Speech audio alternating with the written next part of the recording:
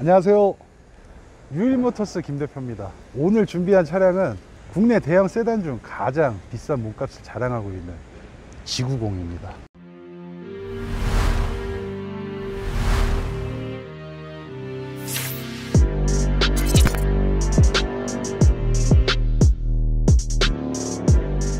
자, 오늘 소개해드릴 G90 최고 사양입니다. 최고 등급. 최고 사양에서 이제 썬루프 그리고 중고차 시장에서 가장 싫어하는 4인승 시트는 빠졌습니다. 자, 오늘 차량 2019년형 완전 무사고 성능 점검 상태 all 양호 주행거리 16,000km입니다. 5.0 프레스티지. 아, G90이 가장 이쁜 건 이 전면부 때문인 것 같아요. 이 대형 그릴과 4점식 LED 라이트 그리고 제네시스 엠블럼 아, 아주 강력한 조합인 것 같아요 그릴이 진짜 무슨 방패 같아 완전 커 자 색상은 섹시한 와인색입니다. 자 전면부 매우 깔끔합니다. 신차급 차량이라고 보셔도 무방합니다. 주행거리가 짧기만 한 차량들도 많아요. 그런데 이 차량은 주행거리도 짧고 전체적인 외관 상태가 아직까지 신차급이다. 이렇게 보시면 됩니다. 최고 사양에 채택되는 불판 그릴. 자 딱 보시면 불판 같아요 느낌이.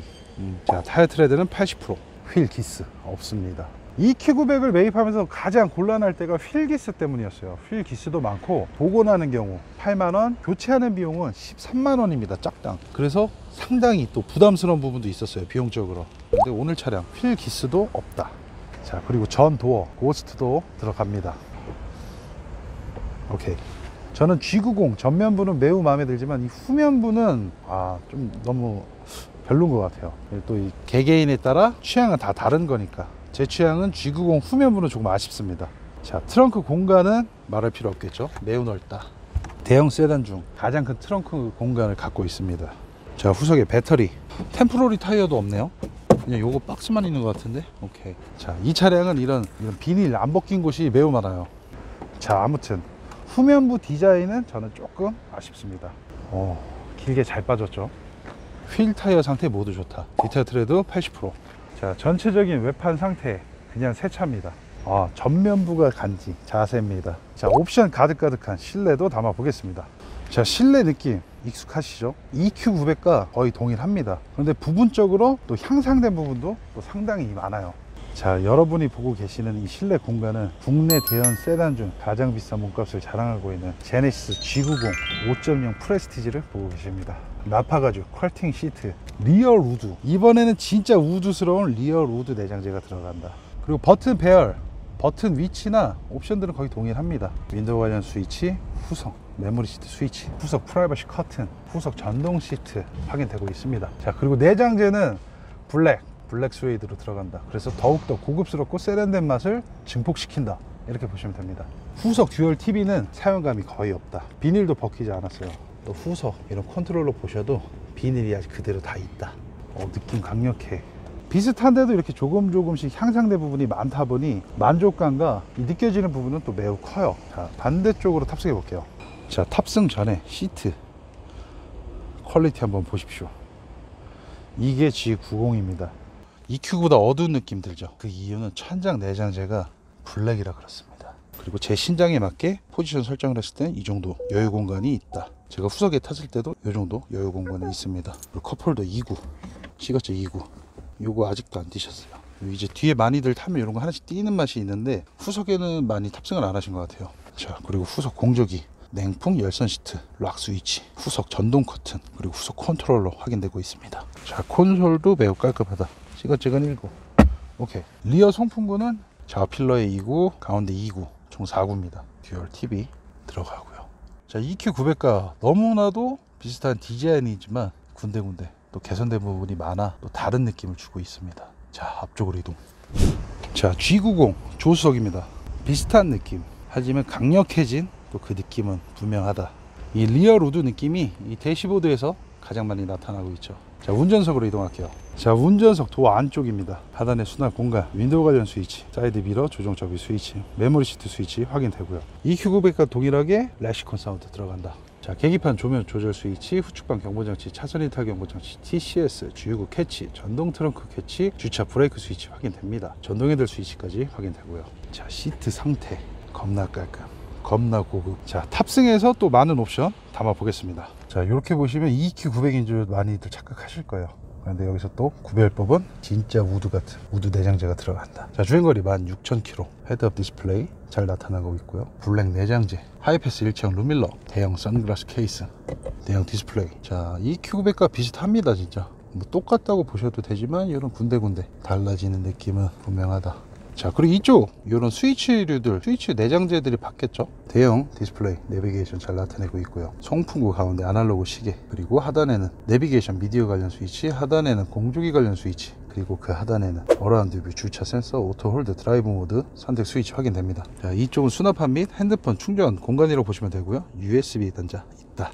자 컵홀더 2구 DIS 확인되고요. 열선 냉풍 시트 좌우 확인되고요. 핸들 열선 후석 전동 버튼 스위치 확인됩니다 자 외관 살펴봤고 이제 실내 옵션 담아봤고 차량 구입 시 가장 중요한 주행 테스트 출발해 봐야겠지? 그럼요. 근데 지금 이 상황 뭐냐? 너 항상 이러냐? 저요? 어. 왜요? 발휘한다 이 새끼 아, 진- 너야 다들 많이 그동안 많이 당황하셨겠는데? 어 맞아요. 야 다리 쭉 폈어 형. 봐봐 야. 다리 이렇게 펴본 적은 처음이야. 너, 이, 너 이렇게 운전이 가능하다고?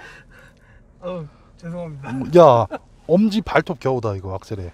형이 자존심 상해서 어떻게든 해보려고 그랬거든? 이 자세로? 사고 날 것 같아서 안 되겠어. 자존심이고 뭐고 없어 야 발 이렇게 펴보긴 처음이네 진짜. 오케이 출발해 보자고. 네. 아, 일단 기분이 나빴는데 출발해 보자고. 그래도 오늘 오랜만에 대형 세단 소개하시는 것 같아서 어. 표정이 굉장히 밝으신데요. 지구공이니까. 이거지 그리고 지구공은. 아. 디스플레이에 표현이 된다라는 거지. 그렇죠. 어, 화면이. EQ와는 다른 점이죠. 어 그렇지. 실내에서는 딱 눈에 띄는 게 이거. 그리고 그냥 버튼들 좀 달라진 거 말고는 아 그리고 우드 우드가 진짜 우드스러운 거. 블랙 내장재 천장. 어, 이것 때문에 또 고급스러워지는 것 같아요. 확. 확실히 고급스러운 느낌은 강력해졌지. 더, 예, 업그레이드 된 어. 것 같아요. 그리고 시트도 이 퀼팅이 되게 고급스럽게 들어가고 네. 자 또 오늘 이 차량 5.0이야 아 어 뭐가지 제껴줘 보자고 네. 주행거리가 만 킬로대니까 그냥 신차급 느낌이 강력하네. 그리고 오늘 차량은 신차가 대비 만 킬로, 이제 만 육천 킬로 운행했는데 얼마 감가됐을 것 같아? 19년형이야. 저는 아직 2년 안 된 거. 그러면 감가율이 더 심하겠죠? 당연히 더 심하지. 차량 판매 금액 얼마예요? 얘가 8,190. 그럼 대략 감 오지. 신차가 대략 아니까. 네. 3,600 감가된 거야. 만 킬로 되었는데. 그러니까 대형 세단은 중고차 사야 된다니까. 진짜 뭐 금전적으로 여유가 상당하시고 네. 내가 이 G90을 지금 나온 시점에서 타야겠다 하셨던 분들이 사셨을 것 같아. 음, 근데 지금 이제 2년 안 됐고 1년 좀 지났고 16,000km인데 3,600. 야 웬만한 그랜저 IG 사는 돈 날라간 거야. 그렇죠. 어. 와. 근데 진짜 느낌은 네. 그냥 EQ9에 운행하고 있는 느낌이야.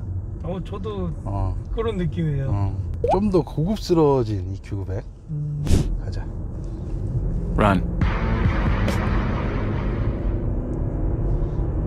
야 힘이 넘치지 안 모자르지. 네. 계속 밀지. 네. 힘이 남는데요? 그럼 어, 굉장히 좋습니다. 음, 신차급 차량이어서도 그렇고 네. 그리고 또 익숙하지. 네, 익숙해요. 음, 매우 익숙한 주행감. 음. 병승이가 한번 운전해봐. 형이 네. 뒤에 뒷좌석 느낌도 한번 느껴볼게. 네, 알겠습니다. 근데 서대리 네. 이런데도 나 손이 들어가 아직. 오 후속 공간도 매우 넓어. 요게 또 기사 두고 타는 맛이 있을 것 같아. 어 파나메라 팔고 이거 타고 싶다. 야 이거 뒤에 타고 뭐 전국 일주도 할 수 있을 것 같아. 너무 편하네. 자, G90 오늘 우리가 운행한 차량 아까 말한 대로 신차가가 1억 1,780, 1억 8천. 판매하는 가격 8,190만 원. 네. 감가가 거의 3,600 맞나? 어, 3천 얼마 정도 되고. 아무튼 감가가 되게 커. 그리고 얘가 이제 8천대잖아. 네. 근데 형은 만약 파나메라 팔고 G90으로 간다. 그러면 형은 8천대는 너무 부담되고 키로수도 음. 짧고 뭐 풀옵션이지만 네. 가격이 형한테는 너무 부담되고 형은 이제 한 5천 중반대, 6천 초반대 깡통. 5천 없는 거. 그냥 난 G90만 느끼면 돼. 아. 어, 그런 거. 최저가가 5천대거든. 아, 음, 5천 중반에서 6천대가 G90은 최저가입니다.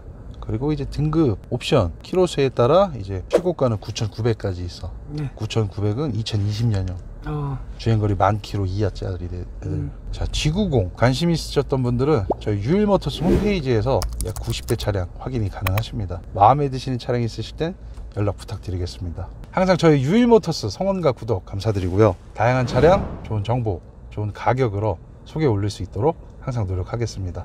감사합니다.